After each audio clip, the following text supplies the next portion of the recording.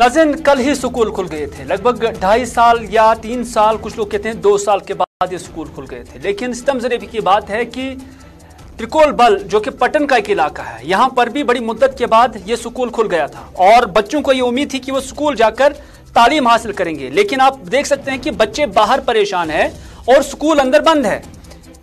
वजह क्या है? ये दरअसल यहाँ पर सर्व शिक्षा अभियान के तहत ये प्राइमरी स्कूल खोला गया था। और यहाँ सैकड़ों बच्चे जेर तालीम थे, लेकिन आज दूसरा दिन था, लेकिन ये बच्चे स्कूल के अंदर नहीं जा पाए क्यों नहीं जा पाए हैं? क्योंकि ये जो ज़मीन, ये जो ज़मीन यहाँ पर है, ये किसी शख्स की ज़मीन है, और यहाँ पर सरकारी स्कूल उन्हीं की ज़मीन पर कायम की गई है। और उन्होंने आज बच्चों को ये कहकर इस स्कूल के अंदर जाने से मना किया, क्योंकि उसे सरकार की जानब से जो कुछ कहा गया होगा कि उससे किस तरह की मुराद या मुआवजा देने की बात हुई होगी, वो उन्हें नहीं मिला है। और दूसरी बात यह भी है कि जिस रास्ते से ये बच्चे इस स्कूल की तरफ़ जाते हैं, उन्होंने वो रास्ता ही रोका है क्योंकि वो उसकी प्राइवेट लैंड है।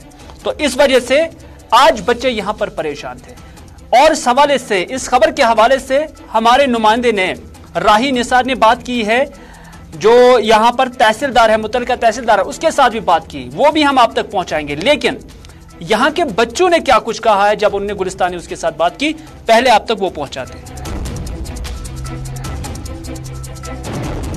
Es ist es School jemand nicht schon ist jemand andere als das ist so sweet pattern nicht much ऐसे es ist हवा अंदर आज मच ऐसे ते कई सनान मच तब योर मच कि मन छ खतन पान में या मच दिवान es ist as driver school es ist os पान शौक es ist दिवान अंदर आज es ist सन टीचर ते छ मान सट सट कर हम देहन es अंदर आज मगर हम छ es अंदर दिवान तो शुशान जी कि यत लकट लकट शुर आज गई दो ढाई वर गई स्कूल यल बिकॉज़ कोविड ऑफ़ नाइनटीन तो तम वजह स्कूल बंद रात गई स्कूल यल तो रात दोहस आय सैनिक अंदर, मगर आज इन सात सुबह आय घर वाल सुन स्कूल अंदर कन मगर ये वत कहें तो तम मूजूब दिख अंदर आसनस कहें वन तम सारी वत पे यप गाड़ तकान आपने देखा, बच्चे स्कूल अटेंड ही नहीं कर पाए क्लास नहीं जा पाए, दूसरा ही दिन था। पचास फ़ीसदी के हिसाब से बच्चों की यहाँ पर हाजिरी होनी चाहिए थी, लेकिन आप देखते हैं कि इतना कम्युनिकेशन गैप है।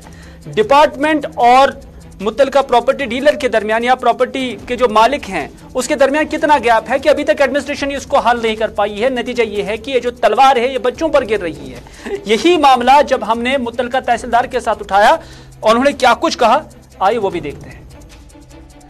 प्राइमरी स्कूल त्रिकोलबल है तो यहाँ पे जो लैंड ओनर था, जहाँ से रास्ता जा रहा है स्कूल की तरफ़ तो उन्होंने रास्ता बंद करके रखा था और बच्चों को अंदर नहीं जाने दे रहे थे।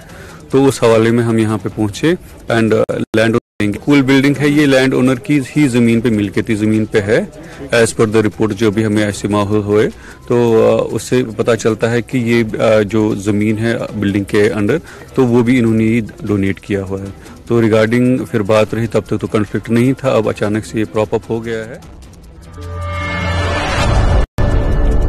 चलिए तहसीलदार साहब की तरफ़ से ये यकीन दहानी कराई गई है कि उन्होंने इस मामले को मुतल लैंडलॉर्ड के साथ उठाया है और अब वो कोई हिंड्रेंस यहाँ पर पैदा नहीं करेंगे। यानी मामला सॉर्ट आउट हुआ हो, होगा। अब और हम उम्मीद करते थे कि ये मामला अगर उससे पहले सॉर्ट आउट हुआ होता हल हुआ होता तो आज बच्चों के ये दिन कम अज कम ज़ाया नहीं होते। इसी तरह की शिकायत कहीं ना कहीं